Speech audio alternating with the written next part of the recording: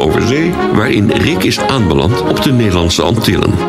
Hij praat met bewoners over de romantiek van het eiland Bonaire, maar ook met een man die een koffie- en broodjeszaak heeft op Curaçao. Dat beloven weer mooie televisiemomenten te worden. Nu op Hilversum Best.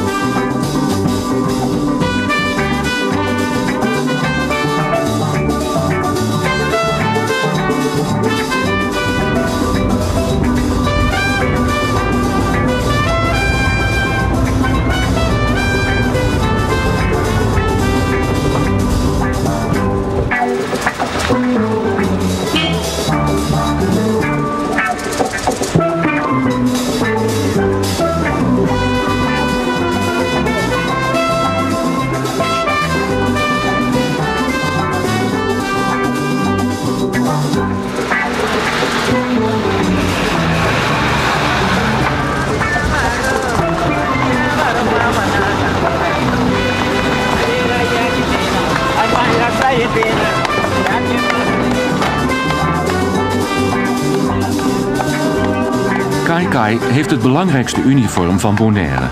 Hij is freelance toeristengids, maar ook taxichauffeur, zanger en vooral romanticus. Welkom, welkom op Bonaire. Welkom op mijn kleine eiland. Wij hopen dat u het leuk zal vinden. We wensen u veel plezier op dit eiland in het westen. De mensen zijn zo vriendelijk. Het eiland van de flamingo dat u nooit vergeten zal. Het eiland in het westen dat u nooit vergeten zal.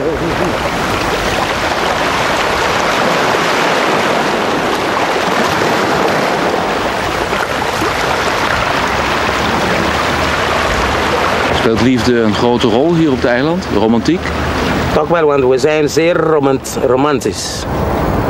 Zeer romantisch. Zelf uh, aan onze manier van kijken is romantisch. Onze manier van praten, onze manier van zingen, zingen is ook uh, romantiek. De manier van praten ook. Ja, Tom, soms. Bijvoorbeeld, uh, als er nou een meisje toe komt, uh, of weet je, dan begon je, uh, komt er bij douche, komt er bij corazon. Meer de flor de mi proprio corazon. Mita stimabo. Zulke dingen, weet je. Vertaal dat dus. Nou, hoe is het, schat? Hoe is het met jou? Uh, mijn lieveling van harte. Ik kom zoveel van jou, schat. Zulke dingen, weet je. Ben je wel getrouwd? Ja, toch wel hoor.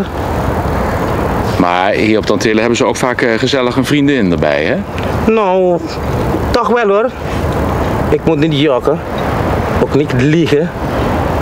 Er zijn mensen die nog twee vriendinnen hebben. Misschien tot drie. Maar dan, hebben, dan schuilen ze, dat wordt geschuild. Hmm. De, de, die enige koningin in het huis mag niet weten. Anders wordt er een vechtpartij en jaloesheid. Maar waarom is dat dan? Nou, misschien uh, het kwam door de warme bloed dat we hebben. Door het warme bloed? Ja. Ja? We hebben zeer warme bloed in, uh, in ons ader. En dat kwam dat wij met meer dan één, uh, meer dan één vrouw vragen. je bent Bonaireaan, je woont op Bonaire. hoe zie je Holland? Holland is een mooi land. En ik hou van hen. Ik hou van Holland. De koningin is mijn moeder.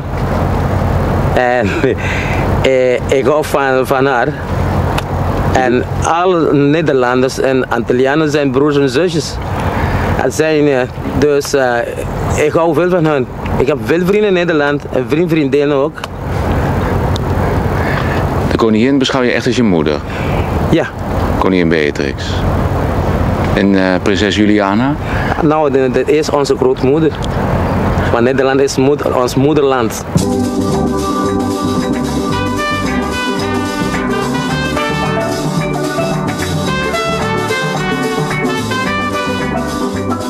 Een hoed bepaalt hoe je je voelt. Dat is de filosofie van Frans Boy, de hoedeman van Bonaire.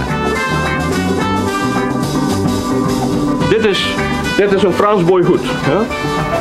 Nou kijk, als je, als je mij in deze hoed zit dan eh,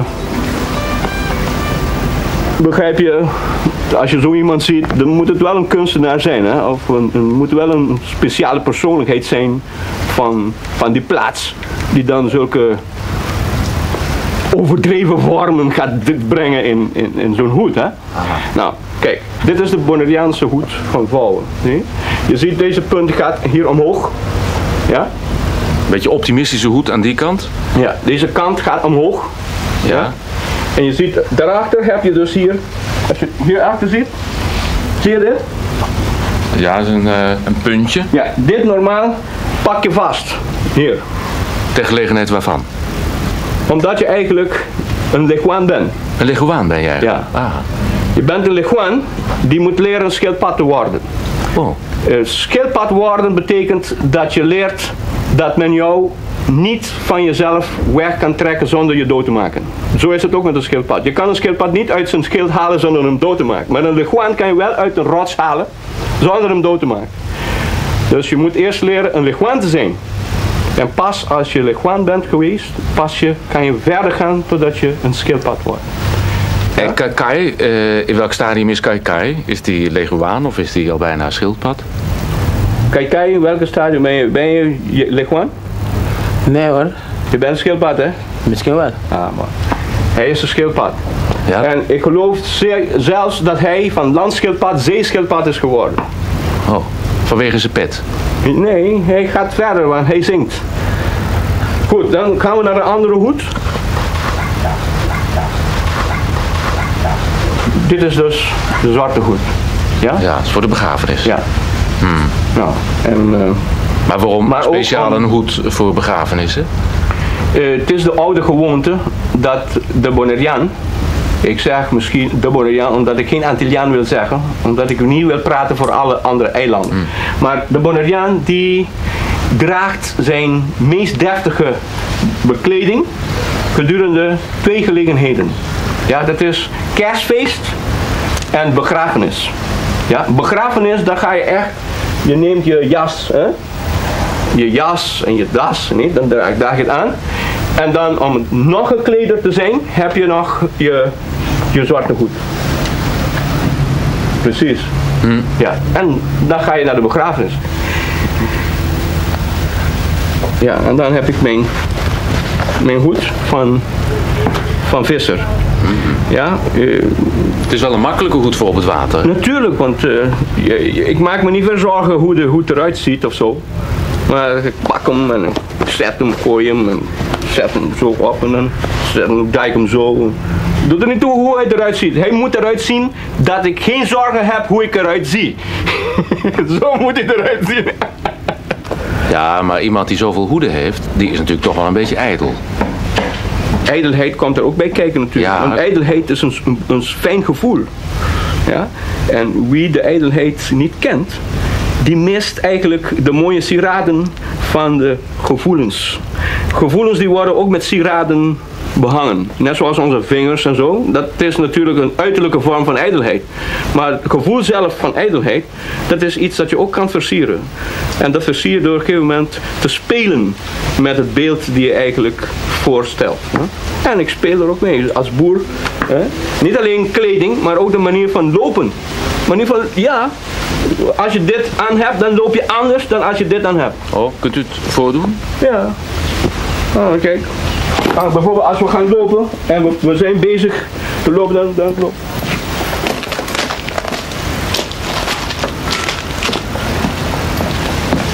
Ja. Nou, nou, dat is op een andere manier. Dan? Ja? Maar als je, maar dan moet ik wel anders gekleed gaan, hè?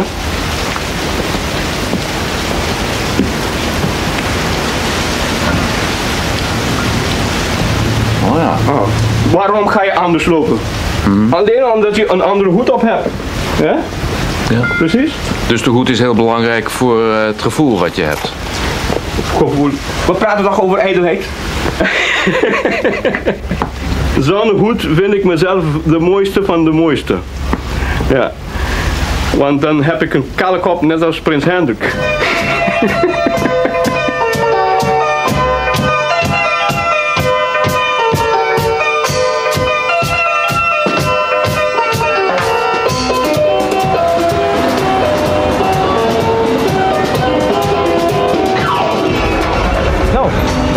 bij Nel, hè? Uit Holland, uit eh, Limburg. Zullen we haar een bezoekje doen? Nelly. Nelly, ja. Zullen we eventjes? Ja, goedendag zeggen zo. Mogen toeteren? Ja hoor.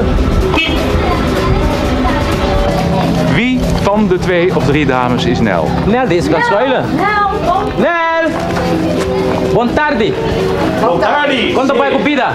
Bobo, Buon buon, non se trece stoel, pavo.